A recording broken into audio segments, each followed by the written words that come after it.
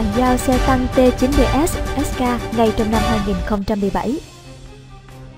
Hãng thông tấn RIA Novosti dẫn lời đại sứ Nga tại Iraq, ông Maxim Maximov cho biết, trong tương lai gần, căn cứ theo hợp đồng đã ký, Nga sẽ bắt đầu bàn giao cho Iraq các xe tăng chiến đấu chủ lực T-90 để tiếp tục đàm phán về những lĩnh vực hợp tác kỹ thuật quân sự tiếp theo giữa hai nước.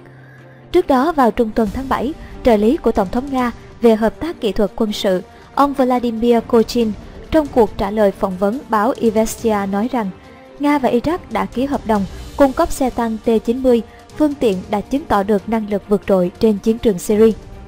Theo báo cáo của tập đoàn Uran Vagon Zavod, việc giao hàng sẽ được thực hiện ngay trong năm 2017. Lô đầu tiên sẽ bao gồm 73 chiếc T-90S đi kèm cả phiên bản chỉ huy T-90SK. Dự báo Iraq sẽ tiếp tục đặt mua thêm nhiều xe tăng T-90 nữa, có thể bao gồm cả biến thể hiện đại hóa T-90MS. Ngoài xe tăng T-90, Nga và Iraq còn tiến hành thương vụ cung cấp máy bay trực thăng vũ trang Mi-35M, Mi-28N, hệ thống tên lửa pháo phòng không Panzer S-1, cường kích tấn công mặt đất Su-25. Chúng đã phát huy những tác dụng rất lớn trong các chiến dịch quân sự chống lại tổ chức nhà nước Hồi giáo IS tự xưng. Ngoài Iraq, báo cáo năm 2016 của Uran và Zavod còn cho biết, Việt Nam, đối tác nước ngoài mang mã định danh là 704, cũng đặt hàng loại vũ khí tương tự, tuy nhiên số lượng chỉ là 64 chiếc. Ông Alexander Mikhev, tổng giám đốc tập đoàn xuất nhập khẩu vũ khí Rosoboronexport, trong lần trả lời phỏng vấn hãng tin Sputnik, đã thông báo rằng kinh phí mua sắm xe tăng T-90 của Việt Nam được lấy từ nguồn tín dụng nhà nước của Nga. Hy vọng rằng khi vấn đề tài chính đã được đảm bảo, tiến độ thực hiện hợp đồng cung cấp xe tăng T-90 cho Việt Nam sẽ tương đương với Iraq và chiếc chiến xa hiện đại này sẽ sớm in dấu xích trên giải đất hình chữ S. Chiều cùng ngày, Bộ Ngoại giao tổ chức buổi họp báo thường kỳ. Người phát ngôn Lê Thị Thu Hằng đã chủ trì buổi họp báo.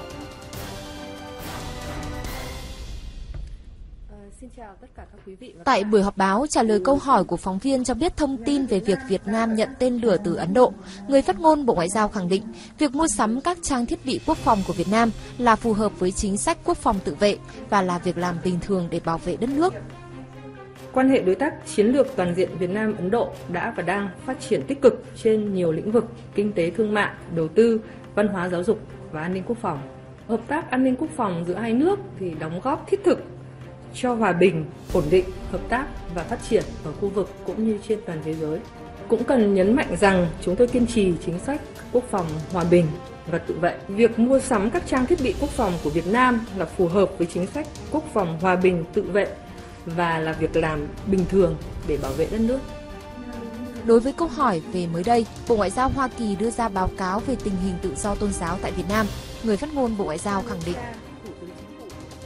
Chính sách nhất quán của nhà nước Việt Nam là tôn trọng và bảo đảm các quyền tự do, tín ngưỡng, tự do tôn giáo, theo hoặc không theo một tôn giáo nào. Điều này thì được ghi rõ ở trong hiến pháp và pháp luật của Việt Nam và được bảo đảm tôn trọng thực thi trên thực tế. Chính điều này thì đã tạo nên một cái đời sống tôn giáo, tín ngưỡng hết sức ờ, phong phú và sinh động ở Việt Nam. Nhà nước Việt Nam đã và đang thực thi nhiều chính sách và biện pháp cụ thể để đảm bảo người dân được thụ hưởng đầy đủ các quyền tự do, tôn giáo, tín ngưỡng, trong đó có luật tín ngưỡng và tôn giáo được Quốc hội thông qua vào tháng 11 năm 2016 vừa qua và dự kiến sẽ có hiệu lực vào tháng 1 năm 2018 sắp tới. Cũng tại buổi họp báo, người phát ngôn Bộ Ngoại giao Lê Thị Thu Hằng đã thông báo về hoạt động của lãnh đạo Đảng và Nhà nước Việt Nam trong thời gian tới. Chiều ngày 17 tháng 8 theo giờ Việt Nam, Thủ tướng Chính phủ Nguyễn Xuân Phúc cùng phu nhân dẫn đầu đoàn đại biểu cấp cao Việt Nam đã đến sân bay Đôn Mường, thủ đô Bangkok, bắt đầu chuyến thăm chính thức Vương quốc Thái Lan từ ngày 17 đến ngày 19 tháng 8 theo lời mời của Thủ tướng Thái Lan Prayut Chan-o-cha. Đón Thủ tướng Chính phủ Nguyễn Xuân Phúc và phu nhân cùng đoàn cấp cao Việt Nam tại sân bay Đôn Mường. Về phía Thái Lan có Phó Thủ tướng Thái Lan Prajin Juntong, Bộ trưởng Bộ Xã hội và Kinh tế số và phu nhân, Đại sứ Việt Nam tại Thái Lan, lãnh đạo Bộ Ngoại giao đại diện không quân Hoàng gia Thái Lan.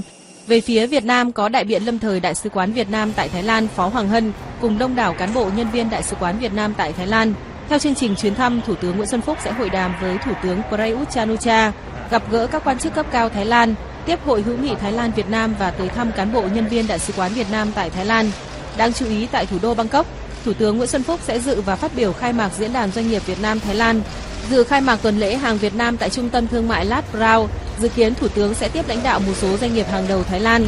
Thủ tướng cùng phu nhân và đoàn cũng sẽ tới thăm và làm việc tại tỉnh Nakhon Phanom, vùng Đông Bắc Thái Lan.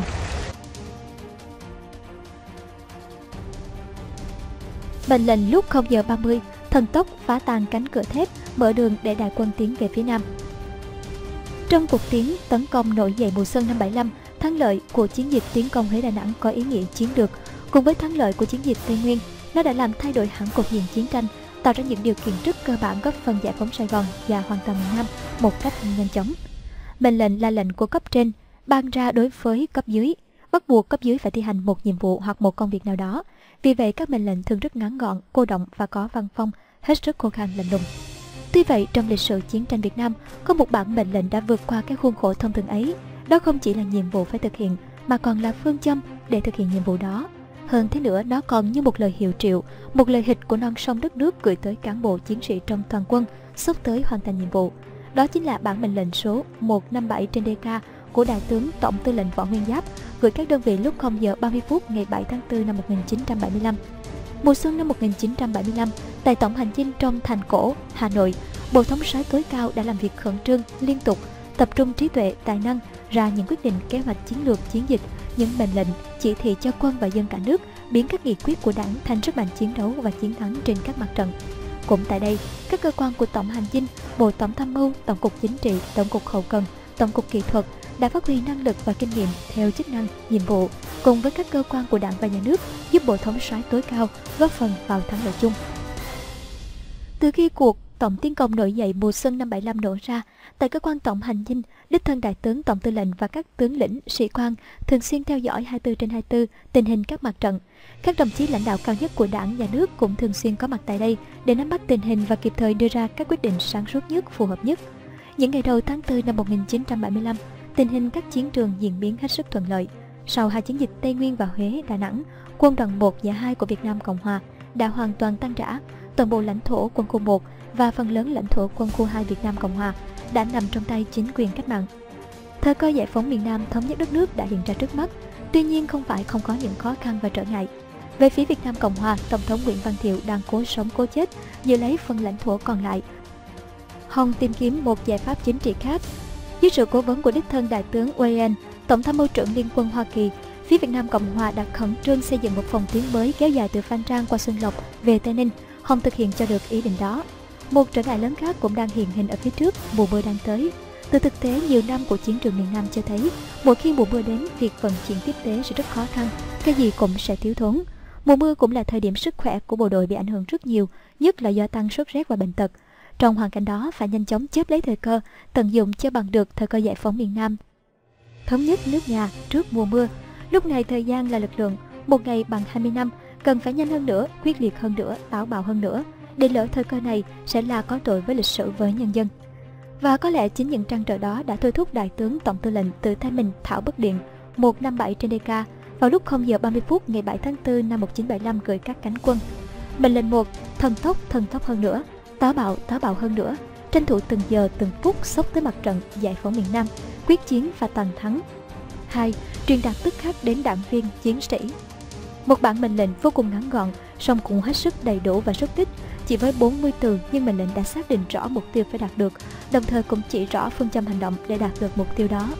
Đã thần tốc rồi, còn cần thần tốc hơn nữa, đã táo bạo rồi, cần táo bạo hơn. Khi nhắc đến bản mệnh lệnh đặc biệt này, thường người ta chỉ chú ý đến nội dung thứ nhất của nó, mà ít người để ý đến nội dung thứ hai, truyền đạt tức khắc đến đảng viên và chiến sĩ. Điều đó cũng dễ hiểu bởi phần thứ nhất là phần quan trọng nhất, chỉ rõ nhiệm vụ và cách thức cần thực hiện. Tuy nhiên, phần thứ hai lại là con đường để thực hiện được phần thứ nhất nhanh chóng hoàn hảo nhất. Có lẽ, chính người thảo bất điện này hiểu hơn ai hết điều đó nên ông đã nhấn mạnh phải truyền đạt mà là truyền đạt tức khắc ngay lập tức vô điều kiện đến từng người lính của ông. Và ý định đó của ông đã được thực hiện một cách hoàn hảo. Cho đến sáng ngày 7 tháng 4 năm 1975, bản mệnh lệnh mang số hiệu 157 trên DK đã đến với tất cả các phân đội chiến đấu và từng người lính trên toàn mặt trận, dù họ đang ở đâu, dù đang bám địch nơi tiền tuyến hay đang hành quân trên những cung đường Trường Sơn đỏ bụi. Sáng ngày 7 tháng 4 năm 1975, không khí tại căn cứ cũ của sư đoàn 3 Việt Nam Cộng Hòa tại Hòa Khánh, Đà Nẵng thật là sôi nổi. Đây là nơi đóng quân của Bộ Tư lệnh và một số đơn vị của quân đoàn 2. Đúng theo kế hoạch hành quân, ngày hôm đó là ngày xuất phát khối 1 của quân đoàn bao gồm sư đoàn BB325, trung đoàn cao xạ 284 và tiểu đoàn TTG4, lữ đoàn 203. Tiểu đoàn tăng thiết giáp 5 sẽ nhập khối từ Tam Kỳ. Khối này có nhiệm vụ đánh địch mà đi, mở đường mà tiến cho toàn bộ đội hình của quân đoàn. Tại khu vực trú quân của lữ đoàn xe tăng 203, hơn 20 chiếc xe tăng thiết giáp của tiểu đoàn tăng thiết giáp 4 đã xếp thành đội hình hàng dọc. Dẫn đầu là 5 chiếc tăng K6385 của đại đội xe tăng 3. Tiếp đó là các xe thiết giáp K36 của đại đội thiết giáp 8 và 9. Trên mỗi xe những lá cờ nửa xanh nửa đỏ với ngôi sao vàng ở giữa phấp phới bay trong gió sớm. Mọi công việc chuẩn bị đã xong, bộ đội đang xếp hàng nghiêm chỉnh nghe tiểu đoàn trưởng Phạm Ngọc Bản hạ đạt mệnh lệnh hành quân. Cán bộ chỉ huy của lữ đoàn 203 cũng có mặt gần như đông đủ để tiện phân đội phái đi trước lên đường. Đúng lúc đó, một chiếc xe con phóng xuống và dừng lại cạnh đội hình xe tăng. Từ trên xe, một sĩ quan của Bộ Tư lệnh Tăng Thiết Giáp Tiền Phương bước xuống và chạy lại gặp chính ủy lữ đoàn Bùi Văn Tùng và đưa cho một cuốn sổ nhỏ. Sau khi đọc lướt qua một vài phút hội ý, chính ủy Bùi Văn Tùng bước lại gần nói nhỏ điều gì đó với tiểu đoàn trưởng Phạm Ngọc Bản, rồi quay xuống hàng quân. Chúng tôi vừa nhận được điện khẩn của Đại tướng Tổng tư lệnh gửi cán bộ chiến sĩ toàn quân, xin thông báo ngay đến toàn thể các đồng chí. Ông dừng lại một chút, rồi nói to chậm rãi bằng chất giọng Quảng Nam trầm ấm nhưng đầy xúc động. Đại tướng lệnh cho chúng ta phải thần tốc, thần tốc hơn nữa, táo bạo, táo bạo hơn nữa, tranh thủ từng giờ, từng phút sốc tới mặt trận, giải phóng miền Nam, quyết chiến và toàn thắng. Các đồng chí có quyết tâm thực hiện mệnh lệnh của đại tướng không? Các chiến sĩ trong hàng quân đứng nghe người, nghe như nuốt từng lời của chính ủy, mắt người nào người nấy rực sáng. Có cảm tưởng họ đang được nghe lời hịch thiên liêng, tiếng gọi của non sông đất nước. Đến lúc chính ủy đưa ra câu hỏi tuy bất ngờ, song cả hàng quân vẫn đồng thanh hô lớn, quyết tâm, quyết tâm, quyết tâm, thật hào sảng. Ngay sau đó, chính trị viên tiểu đoàn Phạm Công Đính lên động viên bộ đội và tuyên bố lùi giờ xuất phát 15 phút, tất cả các xe về kẻ hai chữ thần tốc lên thân xe, lên tháp pháo. Các chiến sĩ bộ binh cơ giới thì kẻ khẩu hiệu lên vành mũ thực hiện ngay. Sau khẩu lệnh đó, xe nào chạy ngay về xe đó và một cuộc đua sáng kiến âm thầm nổ ra. Các chiến sĩ tìm đủ mọi cách để có hai chữ thần tốc trên tháp pháo ở thân xe. Xe thì cắt giấy dán, xe thì kiếm đâu được ít sơn, có xe không kiếm được vật liệu gì khả dĩ bền hơn thì viết tạm bằng phấn, bằng gạch non. Đúng 15 phút sau, toàn bộ đội hình xuất phát với khí thế như dời non lấp bể. Và 9 ngày sau, ngày 16 tháng 4 năm 75, thực hiện mệnh lệnh của đại tướng, chính họ đã chọc thủng và phá tan hoang lá chắn thép của Việt Nam Cộng Hòa tại Phan Rang, mở đường cho đại quân tiến về phía Nam.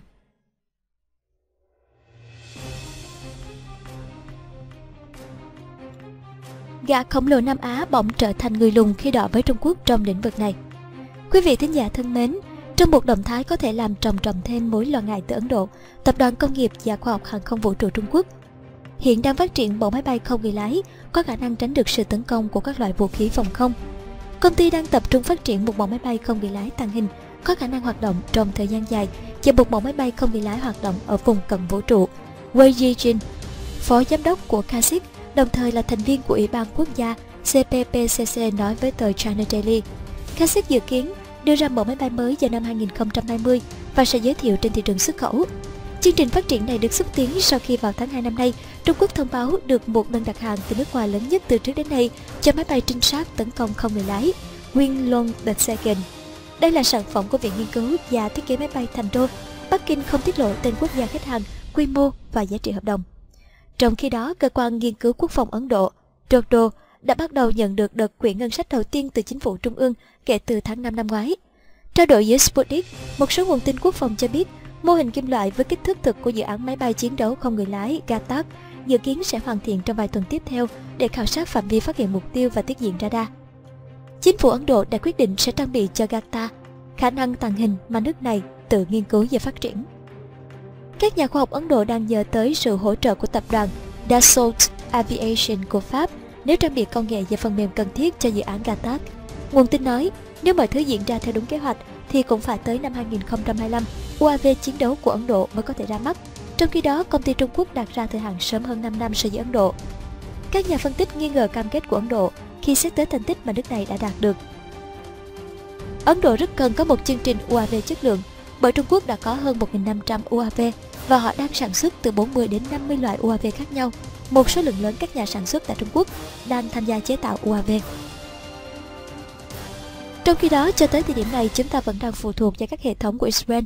Ông Anil Chopra, một trung tướng không quân về hưu của Ấn Độ cho biết, Trung Quốc đã xuất khẩu máy bay không người lái do nước này sản xuất tới 10 quốc gia trên thế giới và đang thảo luận với một số quốc gia khác để cung cấp UAV nguyên Long the Second bên cạnh các mẫu máy bay đã có mặt trên thị trường xuất khẩu như WJ500, WJ600 và WJ 600 AD. Ấn Độ đã lên kế hoạch cho nhiều chương trình UAV khác nhau như Rustam, Nepay. Các dự án này đã được tiến hành trong nhiều năm, một số chương trình như Nishant không gặt hái được thành công. Tháng 11 năm ngoái, mẫu UAV Tabas 201 tầm trung của Ấn Độ đã tiến hành chuyến bay đầu tiên.